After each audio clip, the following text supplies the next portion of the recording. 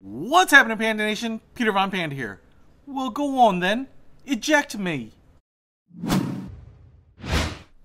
I just picked this up. It says eject on it. It's an eject button. Think it was kind of like 10 bucks. I'm actually a little surprised. I don't really think it was a good value. But I really wanted it, and so I sprung for 10 $10 for this little, uh, it looks like anodized aluminum. And as you might be able to see here, it is anodized like a, a, a red. And it says eject on it in kind of a cool looking font. I will, I will hand it to them on that.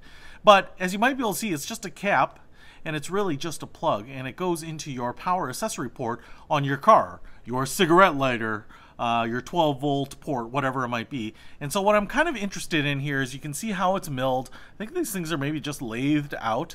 You can see we've got a pretty big cap, so it looks kind of like a button. And then we have a ridge right there, which I think will stop it from going any deeper. And then we have an O-ring here, which looks like just a standard O-ring kind of in another little slot there. So you could probably replace that. But I think that O-ring is going to be what uh, holds it in place. So it should provide a little resistance. And then it's anodized all the way around. It's kind of nice. I mean, it's it's got a nice little field. You probably can't see it that well. Um, and I would say that uh, the eject on it, I don't know, it kind of feels like it's laser etched and then painted. Now, the reason I got this is I have uh, an accessory port, power port, but it's between my cup holders. And it's one of those things where it has a cigarette lighter in it, and so I'm not worried about it shorting out. But uh, it's probably in the worst place that you could absolutely put it. One, if I'm going to plug something in it, I'm going to have it right next to my drinks.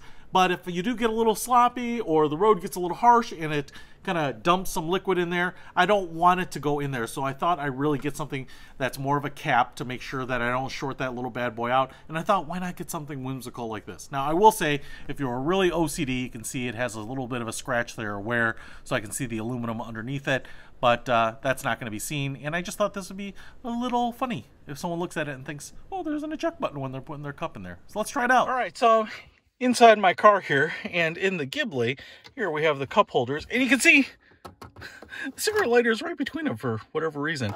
And that always kind of worried me. I actually do like having this. If you're ever in an emergency situation, uh, you can light a fire and you will miss this, even though you might be like, ah, I don't smoke, so why would I ever need it? Um, I'm kind of curious if this will fit now. So let's go ahead and try putting this in. And want it lined up here. And push it in. You know what I'm going to say is that in my car, this thing is pretty big. There's just too much of a gap that this O-ring will roll around in there.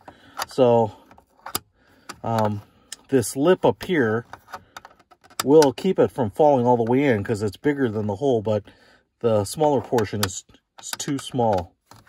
So, you know, I could leave it in there like that, but it's not being held in by anything. And it's more just like a loose cap, which is disappointing. Looks good if I just set it in there like that. But that was not the that was not the point. The point was hopefully to have something that would prevent anything from getting in there. So I guess the cigarette lighter on the Maseratis is maybe a little thicker and wider than most. But so I'll just leave that in there for now. So now you know, but this is what it looks like. Hey, if you want to pick this up, I will put a link to it in the description below, Peter Von Panda out.